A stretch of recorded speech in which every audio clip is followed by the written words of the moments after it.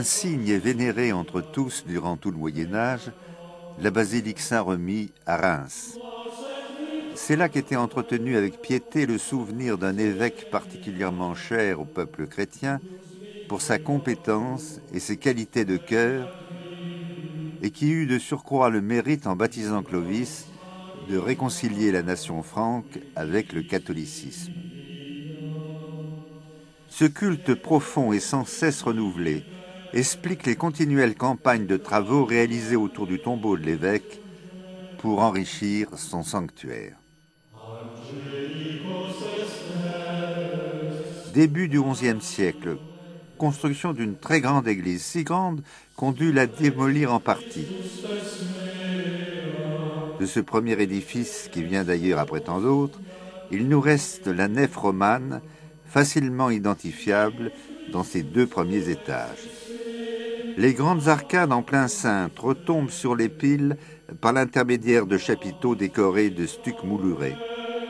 Il y a là une grande recherche de volume et de décor si on les compare à la sécheresse des piles rectangulaires qui se faisaient à la même époque.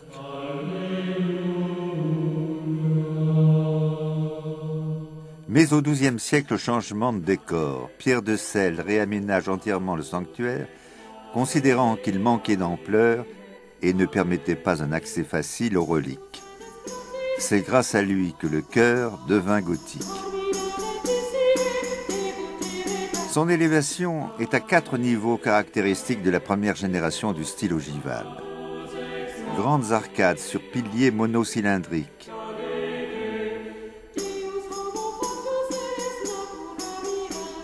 Large tribune, elle joue un rôle essentiel dans la construction pour contrebuter la nef. Triforium, enfin fenêtre haute en triplet. Grâce à elle, la lumière pénètre de toutes parts et fait du cœur une chasse de verre pour les reliques du saint patron. Entre les deux styles, que de contraste.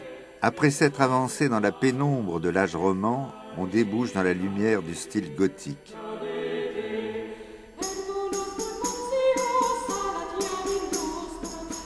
Mais que pense le père Roussel de sa basilique?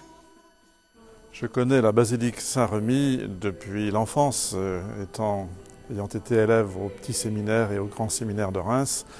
Euh, il m'est arrivé très souvent euh, de venir à Saint-Remy et de participer tout spécialement aux grandes fêtes de Saint-Remy, premier dimanche d'octobre. C'est évidemment très impressionnant de célébrer dans le cadre de la basilique Saint-Army, à cause de la, beauté et de la grandeur euh, de l'édifice, et aussi eu égard à, l'histoire. Ce fut donc une, une, église abbatiale pendant plus de mille ans, où les moines ont prié et chanté dans cette église, ce qui explique un peu l'atmosphère euh, recueillie et priante que l'on trouve euh, dans cette basilique. On a un peu l'impression que les pierres euh, transpirent encore aujourd'hui de la prière des moines et les personnes qui entrent ici sont toujours euh, très prises par l'atmosphère qui, qui, qui s'en dégage. Le mobilier de Saint-Remy a beaucoup souffert. Tombeaux, mosaïques, candélabres sont allés à la casse. La Révolution s'est particulièrement acharnée sur ce monument qui symbolisait la grandeur et la pérennité des rois de France.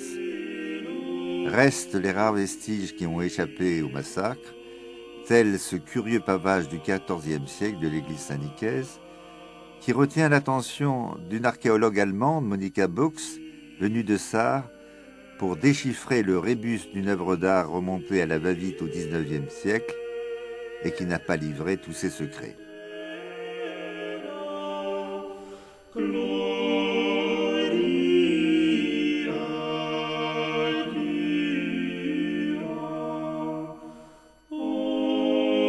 De la même époque, ces chapiteaux admirablement décorés. Ces sculptures valent autant pour leur qualité formelle que pour leur expression symbolique. C'est ainsi que le pélican qui ouvre ses entrailles pour donner à manger à ses petits est l'image de la charité. Il est représenté entre David et Salomon, figure de l'amour du Père pour le Fils. De leur côté, Moïse et Aaron brandissent le serpent d'airain, image de la croix salvatrice. Du XVIe siècle nous reste une œuvre de choix, cette mise au tombeau dont le thème est si cher au cœur des champenois. Les saintes femmes et les disciples sont groupés autour du tombeau où le Christ repose. De part et d'autre, Nicodème et Joseph d'Arimathie tiennent avec dévotion le linceul. Sur la gauche, la Vierge soutenue par Jean se penche vers son fils. Marie Salomé et Marie Jacobée l'accompagnent dans sa souffrance. Et un peu détachée du groupe, Marie-Madeleine exprime sa douleur par une sorte de transe gesticulatoire qui l'apparente à sa sœur Salomé, qui elle aussi danse sur les portails des cathédrales, danse infernale, alors que celle de Marie-Madeleine est déjà céleste. Et voici du XVIIe siècle ce très curieux retable. Il célèbre le baptême du Christ, mais également ceux de Constantin et de Clovis, dont la conversion a changé le cours de l'histoire. Ainsi, à la démarche du prince franc est associée la mémoire du grand empereur d'Orient.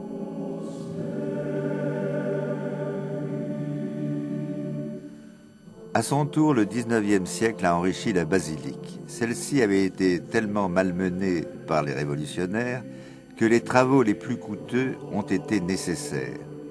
On procéda au plus urgent et surtout on reconstitua le tombeau du saint dans l'esprit de la Renaissance. Le groupe du baptême de Clovis est entouré de douze pères de France.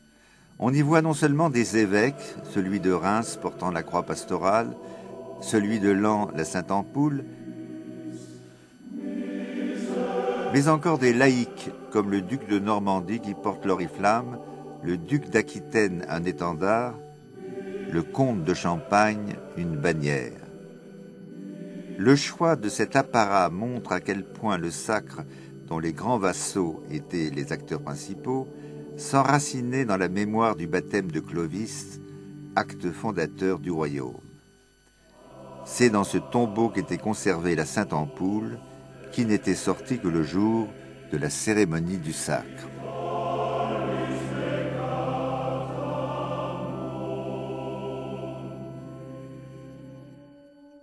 Et les vitraux Les vitraux ont encore plus souffert du vandalisme des révolutionnaires que les œuvres d'art.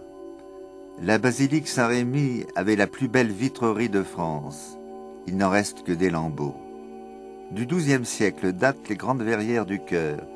Elles sont dédiées à la Vierge Marie qui préside, entourée des apôtres, et également à Saint Remy qui dialogue avec les saints archevêques de Reims.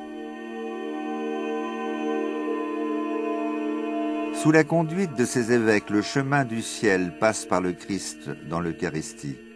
Une grande crucifixion orne la fenêtre centrale de la tribune, au pied de la croix, un calice recueille le vin du royaume éternel. Toutes ces verrières ont été retouchées au XIXe siècle parce qu'elles en avaient grand besoin. Mais le XXe a pris un autre parti, celui de faire des œuvres originales.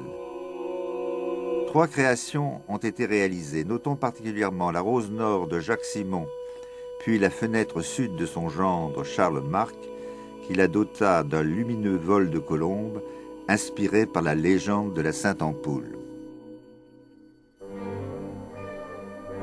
Une des curiosités de Saint-Remy est l'énorme lustre qui barre le transept. L'original a hélas disparu, mais il a été reconstitué avec soin et conserve sa fonction symbolique. Il est l'image de la cité céleste décrite dans le livre de l'Apocalypse. Une fois par an, le jour de la fête patronale, la couronne s'embrase aux applaudissements des fidèles. À ce moment, le public unanime regarde vers le ciel. Ainsi, chaque siècle a laissé à Saint-Remy sa trace.